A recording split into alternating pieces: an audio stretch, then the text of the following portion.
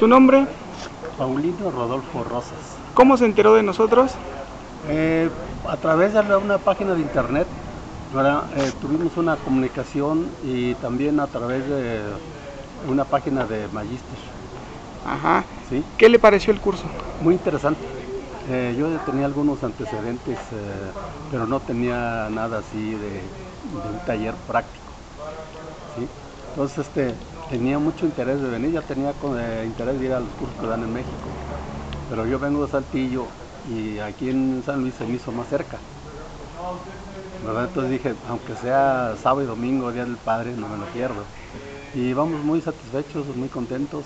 Eh, yo tengo la idea de, empezar, me gusta. ¿Qué quiere cultivar? Hortalizas principalmente. Hortalizas. Hortalizas. ¿Consumo propio? O eh, En principio para consumo propio, para ir sacando los parámetros, ir viendo ¿verdad? necesidades, ajustando el método y posteriormente ir, ir avanzando un poquito.